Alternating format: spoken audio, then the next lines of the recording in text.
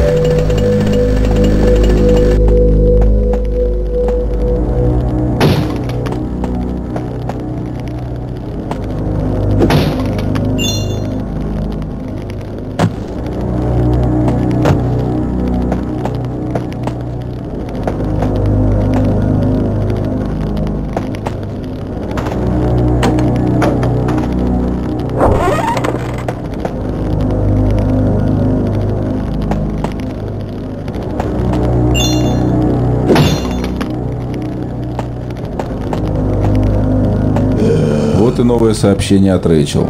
Она пишет, что Крауни решил воплотить свои планы в жизнь. И, к сожалению, силы, которые он привлек в этот раз, превосходят все, виденное нами. По ее сведениям, Крауни обосновался в здании рядом с театром. Рэйчел решила обследовать его. Но я боюсь за нее. Мне следует быть рядом с ней.